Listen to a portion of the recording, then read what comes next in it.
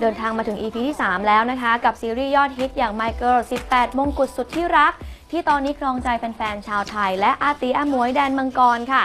ตอนนี้นะคะยอดวิวในจีนแรงทะลุ 30 ล้านวิวเป็นที่เรียบร้อย ซึ่งเมื่อคืนที่ผ่านมาอามวรสในฐานะนักแสดง และเอมสาธิดาร้องเพลงประกอบซีรีส์ก็ได้มาร่วมชม EP 3 พร้อม ๆ กับแฟนๆ ทั่วประเทศเลยค่ะขี้เกียจถูบ้าน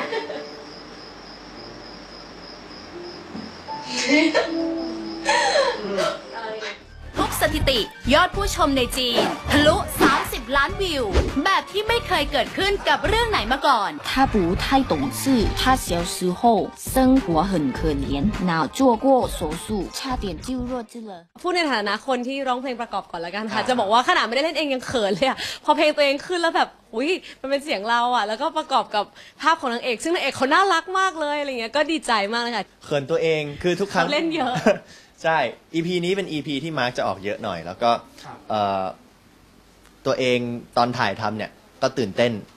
พอมานั่งดู ยิ่งตื่นเต้นเข้าไปอีก แล้วนี่มานั่งดูแล้วมีการไลฟ์มีแบบคนคนอื่นมาดูเป็นเพื่อนเนี่ยคือแบบ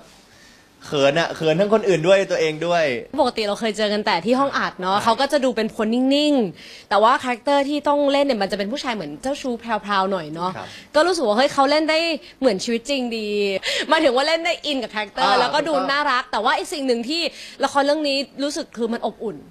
ขนาดแค่เป็นซีนที่แบบอยากจะให้ได้ดูย้อนดู EP 3เนี่ยเป็นซีนที่เหมือนเป็นดูดาวอะที่ขับรถไปแล้วมีดาวมีกราฟิกแล้วรู้สึกว่าเฮ้ยซีนนั้นไม่ต้องเล่นอะไรมากแต่ว่าดูดูแล้วผู้ชายคนนี้เขาเป็นคนที่อบอุ่นตอนนี้กระแสค่อนข้างแรงเออคุณ30ล้านวิวว่า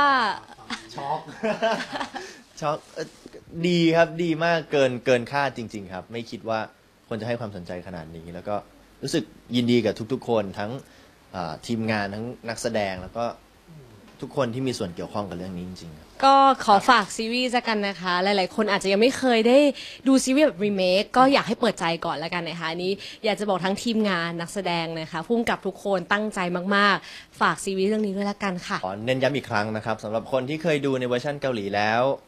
ภาคนี้เวอร์ชันไทยไม่เหมือนแน่นอนครับ เพราะเป็นรีเมคให้เข้ากับคนไทยมากขึ้น ส่วนคนที่ไม่ได้ดูมาก่อนเลยเนี่ยก็ก็สามารถดูได้ใช่เลย เอามาคนนึง น่ารัก และคืนนี้นะครับ เวลา 3 ทุ่มติดตามชม episode ที่ 4 ได้ทางช่อง True Asian Series HD หมายเลข 120 และ 239 ครับ